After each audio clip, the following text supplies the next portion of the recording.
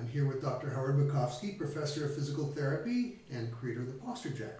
We're doing a series of informal interviews giving you more insight as to why this unique device requires and should be, get your attention as a device that can profoundly change the way you uh, carry your posture and, the, and, and your awareness of your posture.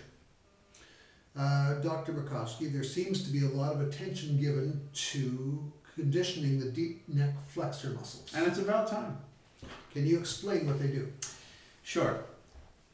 The um, problem with any uh, research related to the neck, which we call officially the cervical spine, or as uh, the UK, uh, folks in the UK refer to it, or in Canada as the cervical spine, or Australia, New Zealand, um, is that for years, much of what was believed to be the case in the neck was derived from what we knew about the low back. Um, but what's happening now, there's an explosion in new research related mm-hmm. to the function of the cervical spine of the neck and what happens when there's impairment. And we're finding that the way there is a core system in the low back, which um, we often address with Pilates type exercises, um, there's also a core system in the neck. There are small muscles that, that provide um, stability and uh, alignment of the cervical spine that um, are very difficult to, to feel, to palpate for the examiner, but very difficult to train um, for the patient. And they take um, a lot of instruction.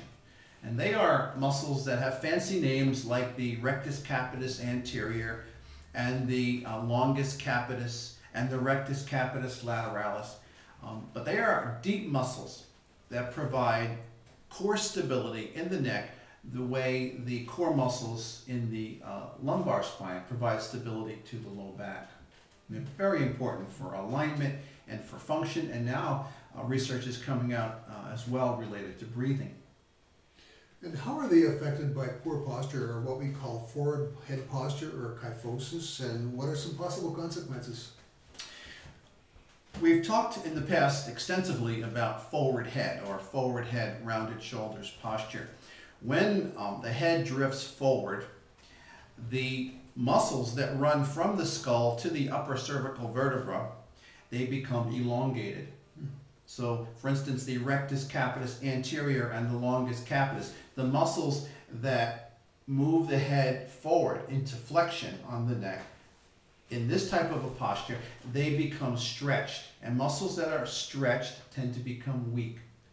And they also tend to lose their endurance to maintain proper alignment. So if those muscles are weak, there'll be less of a restraint to this type of movement, so people will be more likely to develop forward head, rounded shoulders posture. So when we think about changing someone's alignment, we can't think only of stretching tight structures that are pulling the head back. We have to also think about strengthening and training those muscles that keep the head in proper alignment on the neck, i.e. the deep neck flexors. And what are the consequences to poor condition of the deep neck flexors? There's lots of research coming out related to uh, the correlation between weakness and poor endurance of the deep uh, neck or deep cervical flexors and headaches, for instance, be it migraine or tension type headache or a cervicogenic headache, headache originating uh, from the neck, coming from the neck.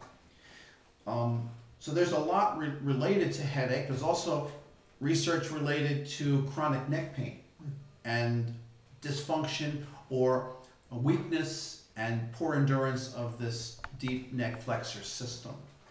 And again, as I mentioned, uh, breathing as well seems to be correlated to uh, impairment of, the, of these muscles and this system. Now, you've been doing some research using the PostureJac mm -hmm. to increase the endurance capacity of deep neck flexors. Can you explain that research to us? Yeah, I'm a professor at the New York Institute of Technology in Old Westbury, New York, and we've been looking at the effect of PostureJac training on the endurance of the deep neck flexor muscles. And we took three groups of individuals. One, we simply tested the endurance um, on the table in the supine backline position. The second group, they held onto the table and we repeated the procedure. And the third group um, engaged the handles of the PostureJac. And we found that the PostureJac group had significantly improved endurance of these muscles. Now, we don't know if it lasts, we haven't tested that, but it appears that there is a significant short term effect on improved endurance, which is key. Again, thinking about headache patients, patients with chronic neck pain, poor posture, perhaps related to shoulder problems, rotator cuff tendonitis, bursitis, all these conditions related to forward head, rounded shoulders posture, and weakness of the deep neck flexor muscles could possibly be helped um, with an intervention that would improve the endurance and strength and overall function of these muscles. The other thing that we've been doing for years is working on trigger points.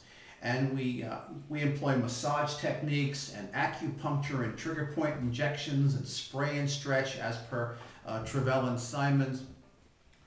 What we're realizing though is that these knots in the superficial neck muscles, be it the upper trapezius muscle or the levator scapulae muscle, these knots may be developing as a consequence of underlying weakness in the deep neck flexor system.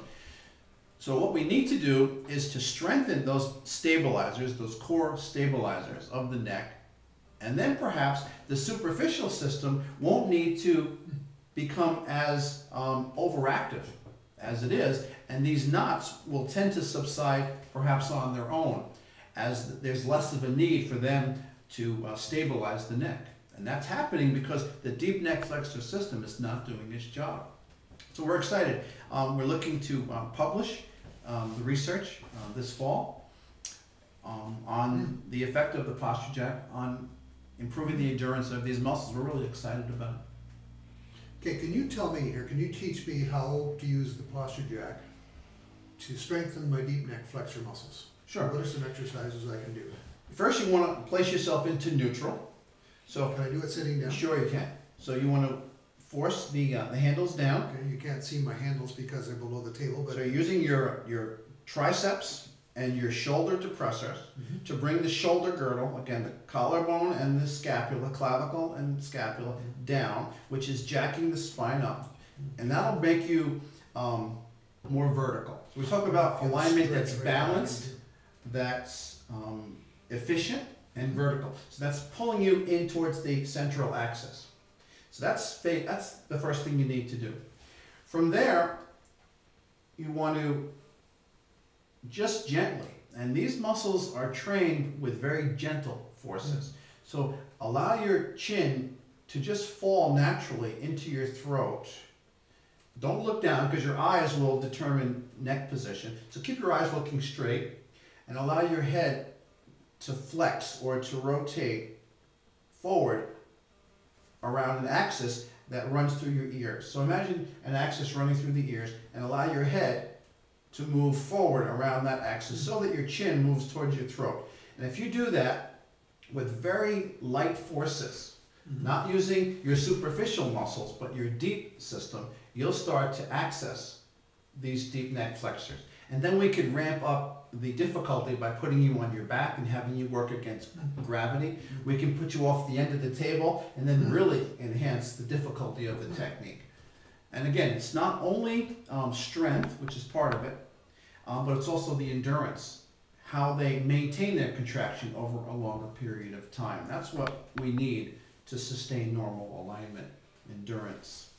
Can I expect a, a, a significant improvement in my headaches or in some of the other neck pains I'm feeling if I do condition those? If the, the headache is related to a mechanical impairment, as in cervicogenic headache, um, possibly even in tension type, and in some patients with migraine, though that's a biochemical problem, um, mechanical factors could be a trigger. So if you improve the strength and endurance of your deep neck flexors, you may have fewer migraines. You may uh, have fewer cervicogenic headaches. That would probably be the headache category